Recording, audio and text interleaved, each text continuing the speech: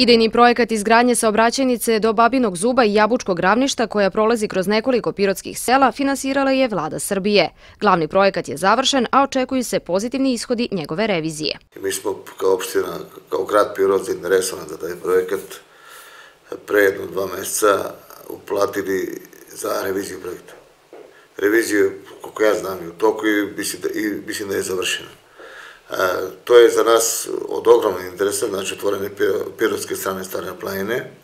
Put je na idealnom terenu, sunčana strana, lako za održavanje, lako za čišćenje i da bi bio precizniji, kad bi sad neko krenuo iz Pirota i stigao do Balta Berilovca, on bi preko Mirkovaca već bio na Jabočkom ništa.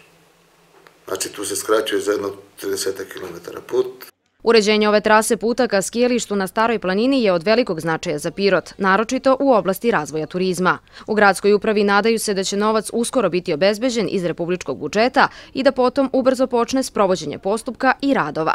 Očekujem da se ova revizija završi, da bude sve kako treba da uproliče i vlada Republike Srbije obezbedi novac da bi taj put mogo da se radi.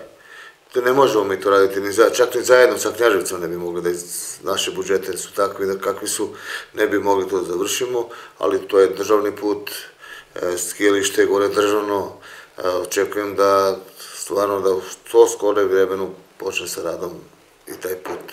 Prema rečima zamenika gradonačelnika Pirota, vrednost radova je oko 22 miliona evra.